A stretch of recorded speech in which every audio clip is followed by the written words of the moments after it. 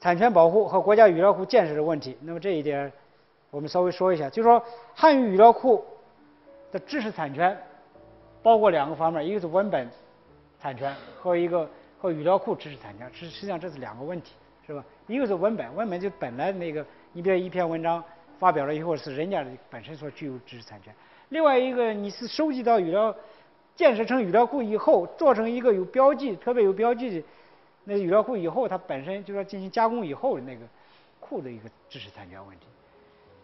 语料库的知识产权没有得到很好的保护，我们说我们国家缺乏一些相应的一些法规来保护。那么到目前为止，语料库知识产权保护都是一个空白，这是一个对我们国家来讲也是一个很可悲的一个事情。那么张普老师。呃，张普，我们说是语言大学的一个教授，现在也早就退休了。一个，呃，一个很，呃，学术做得很好的一个一个教授。他发表过一篇文章，二零零三年的时候一篇文章，我觉得这段话他写的非常好，大家可以读一下，读一下。语料国家语料国家语料库的建设、开发、保护，应该是一种国家行为。在信息社会和数字化生存时代，我们要把语。语言资料的收集、保护、开发，提高到一种对待国家资源的高度来认识。国家要像对待人力资源、地矿资源、国土资源、森林资源、水资源一样对待语言资源。语言资源是国家最重要的信息资源。语料库的建设、保护、开发，要站在国家面向未来的一种战略决策的高度，要作为一种对待国家资源的行为，才能得到。法律的保护纳入法治的轨道，我觉得这一段话实际上写的就高度已经很高了，就是说把这个语言资源，因为语言是反映的一种语言文化上的东西，看作和国土资源、森林资源等等一样重要的一个一件事情。那么下边我们介绍几个典型的语料库，上面说了那么多都是些历史性的东西，或者一些概面、大面上的一些概念性的问题。那么下边我们举几个说一个简具体一点语料库，一个是布朗语料库。布朗语料库呢是二十世纪六十年代，呃，弗朗西斯呃和库斯呢，那么在布朗这个大学建立的。那么这个是世界上第一个根据系统性原则采集样本的这样一个标准的语料库，标准语料库，大概是一百万词。那么这个规模也不大，从现在看规模不大。这个语料呢是选择一九六一年美国人撰写出版的一些普通语体的文本，这也是比较早的，大概是五十年以前的事情，是吧？呃，十五种题材，其中共五百个样本，每个样本不少于两千个词汇。一九六一年，布朗大学出版了《当代英语词频字典》，就是根据这个语料库统计的。那么在七十年代，Green 和 Robin 呢设计的这样一个词性标注系统，也是这样基于这样一个语料库。呃，开发的这样一个标注系统。另外一个 L L C 语料，口语语料，这是专门针对口语收集的，是伦敦大学他们做的事情，也是六十年代是由美国的呃是伦敦著名的一个语言学家 Quirk 组织完成这样一个项目。他收集了两千个小时的对话和广播等口语题材。呃，那么瑞典一些个呃教授呢也参与了这样一个项目。呃，它大概包括八十七个文本，每个文本约五千个词汇，最终呢，规模大概五十万词，这个规模要小得多。但是想一下，大家想想这个规模收集起来要比那个文本收集要困难得多，因为它是经过录音，录音以后再去整理，这要复杂的多。呃，它包括的一些个口语对话呢，包括这样，一个是面对面的对话，电话对话，就是你见不着面儿；另外一些个讨论、采访，还有一些辩论性的等等。那么然后呢，做这样一些整理。那么标准内容包括一些语调、节律或者是韵律，包括一些关键词、词类出现的次数等等，以及它们之间的搭配关系。这也是很重要的一个口语信息处理一个口语语料库。另外另外呢，一个叫朗文语料库，是朗文语料库委员会呃牵头来做的这样一个事情。它的基本原则呢是尊重本族语言者的知觉和语料库权威。向研究人员提供语料，英语英国占了百分之五十，美国占百分之四十，其他说英语国家占百分之十。这主要是英语的语料库，啊，它是书面语的，不是口语的。它选址是一，就是说，呃，一九零零年到二十世纪这样整个一个世纪的英语，那么它知识性的文档呢占了百分之六十，想象性的，你比如说一些科幻小说，都能占了百分之四十。十个领域分布着，包括一些纯自然的一些科学、纯科学的、自然的和科纯科学的，包括一些应用科学的、社会科学的、世界事务的等等，大概是两千八百万词汇这样一个规模。下面重点说一下滨州语料库。滨州大学语料库就是刚才我说的 UPenn，他们做的语料库，他们做了一个非常大规模的一些，包括中文、英文，还有一些其他语种语料库。当然，最主要是中文和英文，因为中文和英文是世界上。到目前为止最受重视的两大主流语言，这个网址大家可以回去试一试，你可以进去看到很多很多什么样的都有，是美国是美国宾夕法尼亚大学计算机系，他们这个 Language Data Resource 这样一个中心做的事情。计算机系是这个 Mark 这个教授主持完成的。那么从1993年开始做这个，呃，做了一个300万词。的这样一个英语句子的一个语法结构的一个标注语料库，二零零零年完成第一版的汉语书库，二零零零年的时候对汉语进行标注，那么大概当时规模比较小的十万个词，那么四千多个句子，这些句子都从我们新华新华社那个新闻报纸上采下来的数据进行标注，然后呢，这个汉语的书库呢，它是 Chinese Tree Bank，就是汉语的树树结构的这样一个文档。当中的汉语的词性，我们我就说的词类，part of speech，被划分成三十三类，二十三类的句法标记，就说句法标记有二十三类，这样一个他们做的标准。比如说，就这样一个例子，这是上面一个句子，这是句子这一句话就是我们从新华社那个报纸上的一句话，他对这些话呢，每这个话进行切分分词，比如他分开。给它标上，它是一个名词，名词是一个代词性的名词，是吧？还是一个副词，注上。提出是一个动词，动词用这个 V V 表示。一是一个数词，CD 来表示。系列是一个量词，具体是一个形容词。措辞措施是一个名词，是吧？和是一个链词，政策是一个名词，要点也是一个名词。最后一个句号，用这个符号来表示。他把每一个句子都这样去切，切完了以后都给它打上一个标签词类标签或者词性标记。然后呢，对这个句子再进行结构标注，就标注出来这个句子有哪些短语构成的。你比如说，政策要点是一个构成了一个 noun phrase，一个名词短语，然后和是一个链词，不管它。这个地方具体措施。构成了一另外一个名词短语，这个名词短语和这个连词再加上这个连词短语，构成了一个更大的一个名词短语，是吧？然后呢，一是一个数词，量词呃量词系列是个量词，一系列构成一个数量词，这个数量词和这个名词短语构成这样一个 noun phrase，这个 noun phrase 整个在句子里边作为 object 作为宾语，然后呢提出是整个句子的谓语动词。还提出还是个副词，副词修饰动词，还是一个 verb phrase，一个动词短语。那么它作为一个主语，也就是整个句子变成这样一个结果，就说一层一层，大家看到，这是最底层的，是吧？底层。那么这是逐步往上走，然后两个小的成分构成一个大的成分，名词短语，逐步形成这样一个大的单位。那么整个是一个树状的一个结构。所以，如果把这样一个结构倒过来画一下，就正形成这样一种形状。这是一个示意性的，实际上它在存储的时候就像刚才那样放，是吧？政策要点构成一个 noun phrase，然后这个具体措施构成另外一个 noun phrase，这个 noun phrase 和这个 noun phrase 构成这样一个更大的一个 noun phrase，然后呢，一系列是数量词，数量词和这个构成了一个和这个 noun phrase 构成一个新的一个 noun phrase，整个句子里边做 object 做。宾语性的一个名词短语，是吧？这个动词和这个 noun phrase 构成了一个大的一个谓语动词，这样一个这样一个一个一个结构。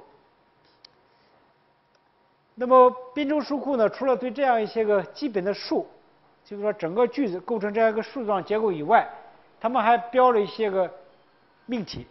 命题库，就是说加上一些语义信息。大家想一下，在那个句子里边，这个句子里边，你注意到，它只是告诉你这个句子谁和谁修辞构成一个名词短语，谁和谁构成一个动词短语，它并没有告诉你这个句子的含义是什么，是吧？没有语义语义东西在里边。那么这样的话，你对语言理解来讲，如果缺乏语义信息的参与，你顶多只能知道这个句子的结构是谁哪一个词修饰哪一个词，这个你可以分析出来，但是你并不能知道这个句子本身的含义是什么。所以为了解决这样一个问题，他们做了一个叫 proposition bank，简称叫 prop bank。那么它是一个加上语义信息后以后构成了一个命题库。它的基本观点呢，认为呢，书库仅仅提供句子的。结构信息、句法结构信息，对计算机理解人类语言是不够的。因此呢，PropBank 的目标对原数当中的句法节点标注上特定的论元标记，这 argument label 论元标记，那么使它保持语义角色的这样一个相似性。举这样一个例子，你比如说，John broke the window，那么它这个句子实际上反映什么呢？这个事件呢是一个搭碎，就是完成这样一个动作。他的这个事件制造者，或者说实施者是什么呢？是谁呢？John，他干的这个事儿。那么受试者是什么呢？是 Window，就说接受这样一个事件发生的结果，所承受这样一个事件发生结果是谁呢？窗户，是吧？是窗户被打。最后整个这个句子的含义呢是窗户被打碎了，表达这样一个意思。那么下边我们看这样一个例子，那么。这个句子当然比较简单了，是吧？这个句子稍微复杂一点，就外商投资企业在改善中国出口商品结构中发挥了显著作用。这样一个句子，这个句子它要来标注，它首先呢把这个句子结构呢进行分析，分析形成书库。大家看，这是刚才我们介绍的就这样一个数结构的一个一个库，就每一层都很清楚，是吧？出口商品结构构成了一个名词短语，对吧？中国是一个。专门表示国家名称的这样一个名词，那么它是作为修饰成分，它两个，它这个成分和这个名词短语构成了一个新的名词短语，在这里边也充当一个 object，是吧？充当一个宾语成分，是吧？那么改善是一个动词短语等等，每一层很清楚。这个地方我为了好看一些，期间我用这样一些虚线画出来，那么整个句子分成一层一层这样。是一个树状的一个层次化结构。整个句子实际上分成三大块一个是主语，一个整个是谓语动词，谓语动词当然包括了整个这个主体这一大块最后一个结束标点这样一个。那么整个这是一个树结构。我为了呃明确一下，就是看看每一个这个结构当中每一个词在句子当中的顺序，我给它一个编号，是吧？在句子当中，你说外商，我从零零号开始编。是零号、一号、二号、三号等等，编编上号。那么这个地方我为了让你看的比较明确一点，就是告诉你这一个词，你说这个词在整个句子当中第十个词，对吧？这个作用在整个句子当中第十四个词，反正从零开始编。编好了以后，我要用这一些标记对这一个数的节点进行标注。它标了这样一些东西，对这个数上标这样，它要标这个核心动词的。一些个信息，因为我们说一个句子的最主要成分就是以谓语动词为核心，在整个句子当中发挥是一个谓语谓语动词是做核心最核心动词，当然改善也是一个动词，但这个动词大家看它并不是一个整个句子的核心，而是后边后边有一个小宾语的当中的一个动词，是吧？但是那么下面我们主要看这样一个发挥怎么标，这些信息标是什么样的含义？它每每一个数据都是有含义，这个含义是告诉你文件名，就说这一句话所存放的那个文件的名字，告诉你。然后呢，后边这个是告诉你句子编号，就这一句话在这个文件当中第四个句子。下边呢，告诉你这个词序号，就是说发挥这个词在这一个句子当中是第十一个，大家看第十一个。编号告诉你，然后呢，后边这个构呢，这个没有什么特别的含义，因为这一个标注是用人手工来标的，他相信人手工标记是不不会错的，就当然，因为标注的过程当中都请的是些语言学家或者专门从事语言工程的人，专门干这个人干干这个事儿的人做的标注，所以他认为是一个构准，是一个呃是一个标准，是一个不会不会错误的一个标准。然后呢，下边这些信息呢，这个标注是个发挥，这一个动词是一个整个句子的核心动词，它的这个框架类型，框架类型什么意思呢？因为每一个动词可以采用不同的使用方法方式，有些时候呢，你比如有些词它可以带双宾语，是吧？你比如说给给你一本书，给你是一个直接宾语，书。是一个间接宾语，是吧？它可以带两个名词，有些不可以带两个名词，但是呢，有些它可以做不同的含义。那么这种情况下，它用不同的框架来表示它，就要用不同的框架来表示。所以这个发挥呢，在整个框架里边呢，分为有两种不同。一种它作为一个 agent，就说一个事件的实施者，就说它要产生这样一个作用的一个主体，才能做。那么它所现在这个，我们用 arg 零来表示，就是说这个参数 arg 零是一个主体，它要就发挥作用那个那个主体发出者，那么最后产生的什么？产生的影响，或者说这个效用，或者说特性等等，发挥这样一些个。你比如说举这样个例子，他是中国银行今年中国银行仍将继续发挥其在支持外商投资企业方面的主体渠道作用。那么这个地方中国银行是一个 agent。就说它要来发挥这样一个一个作用，它是一个组织机构，它是一个产生这样一个效用的这样一个主体，所以它是 arg 零。那么在这个 arg 一是来发挥的什么呢？发挥是这样一些个作用，发挥作用。那么后边是一些个修饰成分，这 arg m 是表示 modification，是一个修饰成分，修饰成分 tm 表示时间的这样一个修饰成分。冷是也是一个修饰成分，但是它是一个副词性的修饰成分，adverb。那么这个讲也是一个副词性的修饰成分。这个发挥才是这个词本身，它是做这样一个标，这是其中的一个框架，这是一个框架。那么发挥除了起这样一个作用以外，作为一个主体，作为一个主体表表证这样一个主体能够产生这样效用以外，还可以有另外一个含义，就是说来表示这样一个某一个。行为或者说某一个结果是由谁来？是由一个什么样的这个动作发出者所产生的？那么叫 exerter，就发挥者来行使这样一个作用，也是一个作用或者一些潜能。你比如这句话当中，他说这个都发挥了较高的水平，这个发水平是由这些人发挥出来的。所以这个地方 arg 零是这些人，arg 零是这两个人，这两个人。他是发挥的是这个水平，这样起这样的作用。这两个大家看不是太好区分，不是太好区分。你你仔细琢磨琢磨，稍微有点差异。这个地方是发挥的水平啊作用等，那个是是指是某一个主体或者说某一个实体来发生的作用。这个是往往指的是某一个人或者某一个系统来发生的作用，稍微有点差别，很细微的一些差别。那么在这个句子里边，它采用的就是说。零一那种标记，就是它是认为发挥的是整个作用，整个经济上发生的作用。后边这一个参量呢，表示是二五零，二五零是什么呢？就说它的起始位置和上述的深度。起始位置大家看从零开始，零就是说从零号词外伤开始，它上述上述就是说，如果从数这个结构上来看，它是往上走，是吧？往上走的话。它深度上升一层的话，大家看往上一走的话，就是到外边这个层，到外边就是这一层的话，就是 NP subject 是吧？就是相当于一个这个 NP 这个名词短语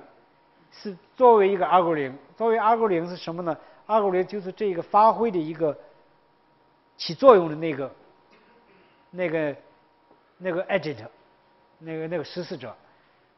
那么也就是说，外商投资企业。在整个句子里边是 arg 零，是个 agent。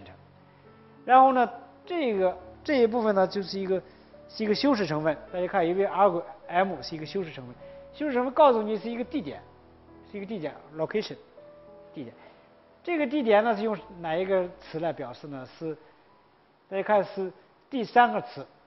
第三个词是一个在这个词，在也是上述深度为一。要再往上，也就是往上走一层的话，就到了这个整个是介词短语，P P T M P 是吧？上一层到这个地方，这个 P P T M P 实际上是包括整个这个子结构当中整个这一个子结构，所以说它表示说在改善中国出口商品结构当中，整个在这个结构当中它发挥作用。那么这个地方告诉你，这个修饰语是整个这一块儿。然后呢，下边这个是一个受试者，告诉你阿贵一已经定好了，阿贵一就是一个受试者，就是他承受这样一个结果或者说作用的一个承担者。它的位置呢，告诉你也从第十三个词开始，第十三个词我们就是显示，显示这个是上述两个两层的深度，上层数一层到这个地方，再上诉一层就到这个地方，就是说到这个地方就是 NP。O B P N P O B P 实际上就代表了这两个字显著作用，因此呢，也就是说显著作用这一个短语在整个句子当中，它是一个 argue 一作为一个承受者就完了，整个标注是这个，后边这个没有特定的含义，后边只是一个结束标记，就是说它的第十一个词这一个结束，就说相当于前面这一些参量描述都是关于这一个第十一号词的这样一些描述，就作为一个。再强调一下，它的位词是第十一号词结束，这样的，就说在这一个 proper bank 里边，每一个句子都做这样一些标记。首先对这个句子进行一些个分词，分完词做词性标注，做完词性标注以后，标注它的句子结构，标完句子结构以后，对这个句子的每一个节点进行这样一些语义角色的标注。因此呢，这项工作是一个非常大的一个。工作量非常大，你想一下，标这样一个句子，有些时候是非常复杂的一个，非常困难，特别有些句子很长的时候。那么，因此呢，这些年来就是做这个语义角色标注，也是语言处理里边非常热门的一个一个研究方向。因为你整个句子如果能够被每一个节点、每一个句子当中句法结构里边节点标上、打上这个标签，它到底是实施者还是受试者，还是一些修饰成分？实际上，你如果能够把一个句子给它标上这样一些标签，证明你这个机器就能够对这个句子进行理解了，是吧？否则的话，你如果不理解这个句子含义的话，你就没法来完成这样一件事儿。因此呢，怎么来标这个语义角色，是目前研究非常热的一个一个方向，也是